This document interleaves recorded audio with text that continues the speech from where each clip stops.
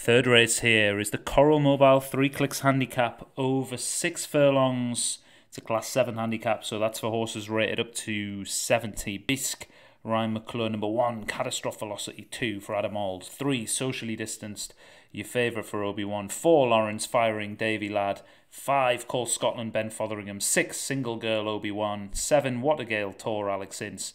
8 Winter Tapestry Martin Leadham, 9 Crystal Maze for Daniel French, and number 10 North Star for Graham Clutterbuck. And that's your lineup of 10 off and running here. Socially distanced with a really good break, as did Crystal Maze. What a game show that was. Used to love watching that. Richard O'Brien back in the day. Crystal Maze out has that lead. Catastrophe Velocity being ridden along there. Adam Altos, little look over the right shoulder as well. Wants to be just racing in behind this pace.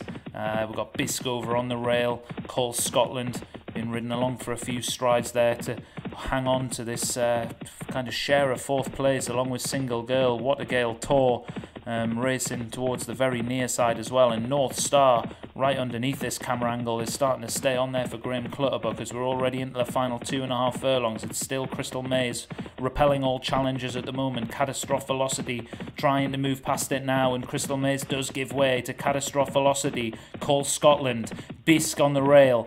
Crystal Maze now starting to fade. North Star down the centre of the track, and Single Girl look real dangers, but we're inside the final furlong. Bisque now moves out into the lead. Lawrence Firing's the one that they have to watch out for, and it now picks up the lead as we come towards the line, and Lawrence Firing absolutely flew down the centre of the track as we came into the final furlong and then just maintained that effort and nothing else was really able to get close to it. Catastrophe Velocity did stay on really well but touched off in second place and North Star stayed on down the centre of the track for third but Lawrence Firing makes a mockery of that price for David Robertson by winning the Coral Mobile 3 clicks handicap really nicely ahead of Catastrophe Velocity in second, North Star third, Graham Clutterbuck, and fourth and fifth for Obi-Wan.